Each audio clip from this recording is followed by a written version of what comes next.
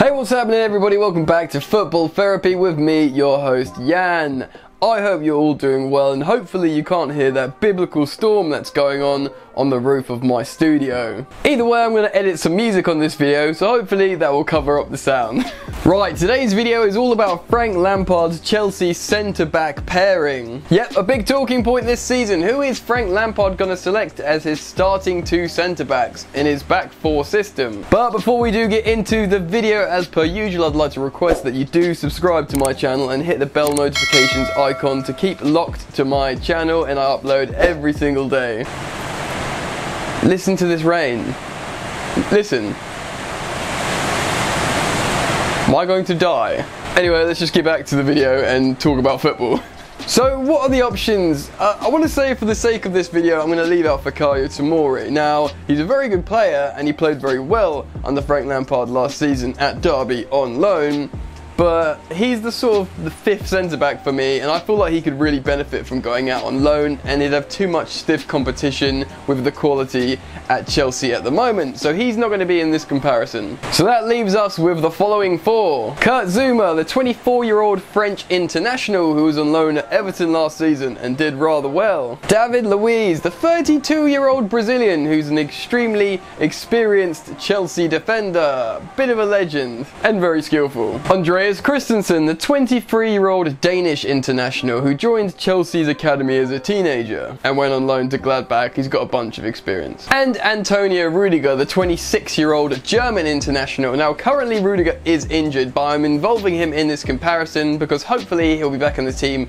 for not that long, and really this is about Frank Lampard's centre-back pairing moving forwards. So I'm keeping him involved for this video. I am going to express my own thoughts and opinions on the players and who I think should be playing for Frank this season, but before that we're going to do a statistical comparison of certain metrics to see how they compare to each other. So on that, let's take a look at the numbers. Starting with arguably the most important metric for a defender, tackles and interceptions. Antonio Rudiger made two tackles and interceptions per game last season. David Luiz made 2.1 tackles and interceptions last season. Andreas Christensen made 1.8 tackles and interceptions. Big Kurt Zouma was making 2.7 tackles and interceptions per game last season. So when it comes down to the downright defensive dirty work, yes, that is superb alliteration from me. Zouma wins. Now it's important to note that he was on loan at Everton and they would have had to do more defending than Chelsea, probably because they play without the ball more. But regardless, don't take away from Zouma that he's incredibly good defensively and he's putting in the graft. So let's talk about some offensive metrics. I've left out goals and assists just for this because I want to talk about a couple of other stats. So we're going to be looking at shots per game and key passes. So this kind of the intent of the centre back of getting involved defensively. Starting with shots per game. Antonio Rudiger took 0.8 shots per game last season. David Luiz took 0.9 shots per game last season. Andreas Christensen only took 0.4 shots per game last season, and Big Kurt Zouma took 0.6 shots per game last season. So Rudy and Luiz are the two players who take responsibility the most out of the four and bang a shot every game or near enough. Key passes. Now this is not very rock and roll for these guys. Rudiger made 0.2 key passes per game last season. David Luiz made 0.6, which isn't too bad. Andreas Christensen made 0.1, which is bad. and Kurt Zouma made 0.2, which is also pretty bad.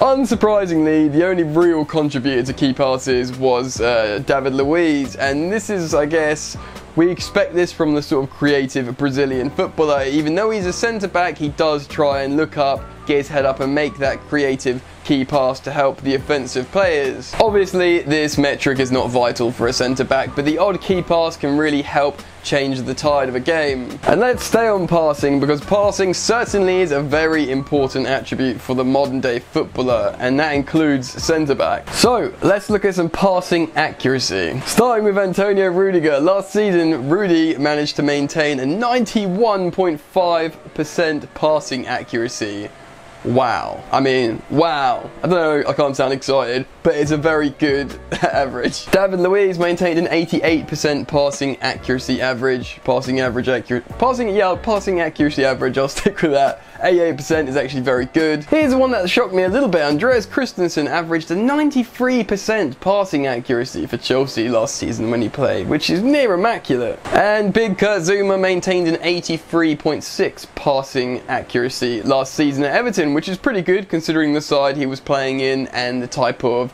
offensive play they would have had to endure and playing without the ball, etc., etc. So, you know, if Zouma comes back to Chelsea now and plays all season, expect that passing accuracy to go even higher. Right, let's look at some long ball statistics. Last season, Antonio Rudiger averaged 4.5 accurate long balls per game. David Luiz averaged 6 long balls per game. Very good. Andreas Christensen only managed 3.1 long balls per game. And quite similar, Kurt Zouma only managed 3.2 long balls per game. It's unsurprising again that David Luiz wins in this statistic. The skillful, footballing Brazilian footballer, loads of accurate diagonal long balls. I mean, world football by now is used to David Luiz's Hollywood long balls, so very impressive from the Brazilian. But I tell you what, Rudiger at 4.5 is pretty tasty, and you marriage that with his near immaculate passing accuracy, the fact how he wants to play long diagonals, but he's just constantly accurate all the time with his passing, is, you know, pretty alluring for the coach to pick him. Anyway, that is enough of the numbers for the moment. So where does that leave us? Well, for me, I need to start by saying I feel personally that Andreas Christensen is the weakest link here. Right then, so Andreas Christensen obviously has excellent pass accuracy, and I recognise that. You can definitely see why Borussia Mönchengladbach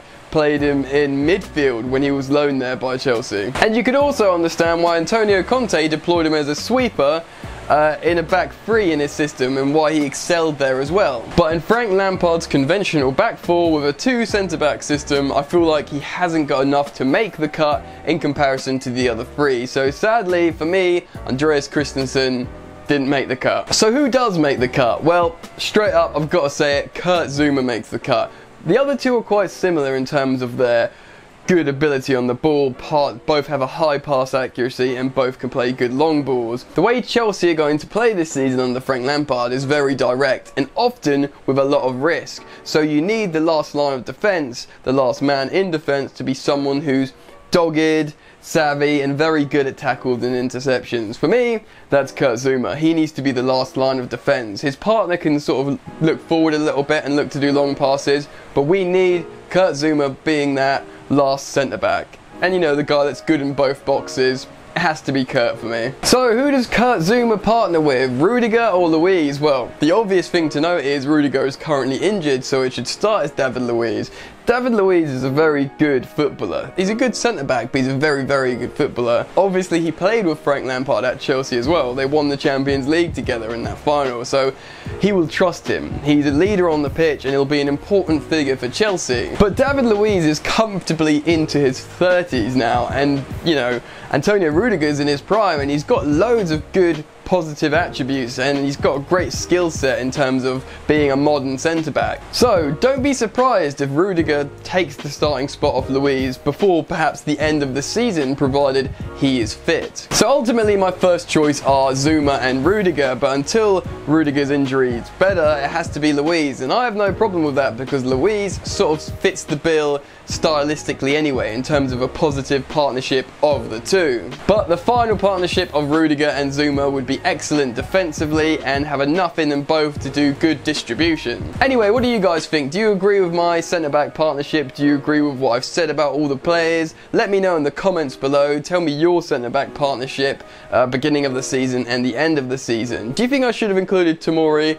Let me know. Obviously, I'd like to request that you like the video also if you've enjoyed today's content. Right guys, I want to say a big thank you for helping me reach 9,000 subscribers. I'm over the moon that I've got so many subscribers so early in my sort of YouTube journey. Ugh. Anyway, thanks to everyone who subscribed. If you want to support the channel, you can become a patron to my Patreon and gain access to exclusive content like Q&As where I answer your questions directly in videos only available for patrons. It costs $1 a month. I'll put the link down in the description as usual and also make sure you do follow me on social media at Football Yannick on Twitter and Instagram. Sod's law, I finished the video and the rain stops, man. Anyway, guys, I really do hope you've enjoyed the video. Enjoy the football, and I'll see you later. You ain't so tough with that bad boy tuck. I'ma get it how I'm living, I'ma walk the walk.